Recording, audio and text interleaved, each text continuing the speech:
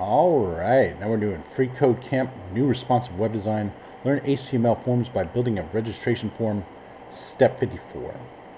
So currently, if we type in the input or text area elements, we will not be able to see the text. Also, their height is too small to be easy to use.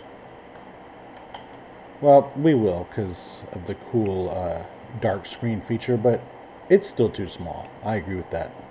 Uh, we're going to fix this by setting the color to FFFF and uh, setting their minimum height to 2em. All right.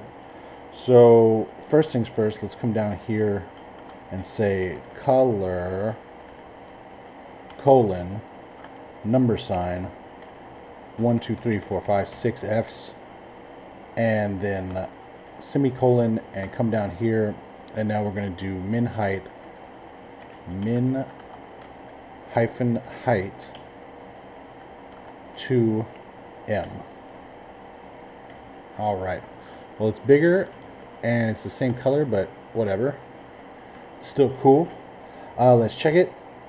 Looks good. Submit it. All right. Now we're on to step 55 and we'll see you next time.